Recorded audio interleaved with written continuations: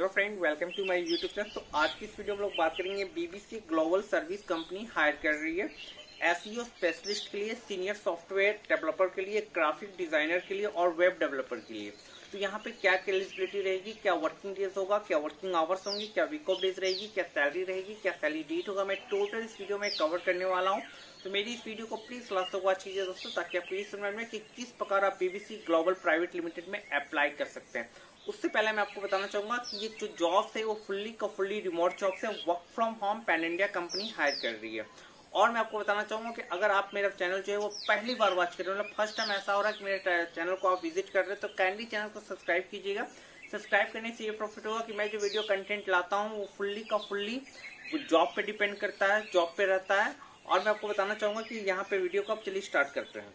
तो कंपनी का नाम है BBC global service private limited और जो यहाँ पे हायरिंग चल रही है वो एस स्पेशलिस्ट e के लिए हायर चल रही है जो कि रिमोट जॉब से और मैं आपको बताना चाहूँगा कि वैसे कैंडिडेट जो कि ग्रेजुएट हैं पोस्ट ग्रेजुएट हैं वहाँ पे अप्लाई कर सकते हैं।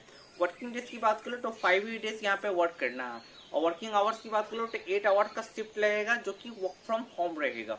बहुत सारी वैकेंसीज है मतलब बहुत सारे पोस्ट के अलग अलग वैकेंसीज है कंपनी के पास। तो अभी जो है वो हायरिंग चल रही है और एस पोस्ट के लिए हायरिंग चल रही है सीनियर सॉफ्टवेयर डेवलपर की हायरिंग चल रही है ग्राफिक डिज़ाइनर की हायरिंग चल रही है और वेब डेवलपर की हायरिंग चल रही है। तो वैसे कैंडिडेट जो कि अप्लाई करना चाहते हैं अप्लाई कर एज आई इंटरेस्टेड मैं आपका जो सीवी है वो डायरेक्ट जो है एचआर को ट्रांसफ़र कर दूँगा या फिर मैं एचआर को नंबर दे दूँगा, वहाँ से आप इन्हें कॉल कर सकते हैं। यहाँ पे आपको हंड्रेड परसेंट इंटरव्यू होगा। अगर इंटरव्यू में सिलेक्शन हो जाता है तो डेफिनेटली यहाँ पे आपकी अच्छी सैलरी यहाँ पे मिलने वाली है। तो फ़िलहाल जो मैं इस वीडियो में ये कवर किया दोस्तों कि BBC global private limited hire कर रही है एस पोस्ट के लिए, जो कि वर्क फ्रॉम होम प्रोफ़ाइल के लिए है। तो वैसे कैंडिडेट जो कि अप्लाई करना चाहते हैं, करना चाहती हैं अप्लाई कर सकते हैं हायरिंग चल रही है। वीडियो अच्छा लगा हो तो प्लीज़ दिल से लाइक कीजिएगा शेयर कीजिएगा सब्सक्राइब कीजिएगा। जय हिंद।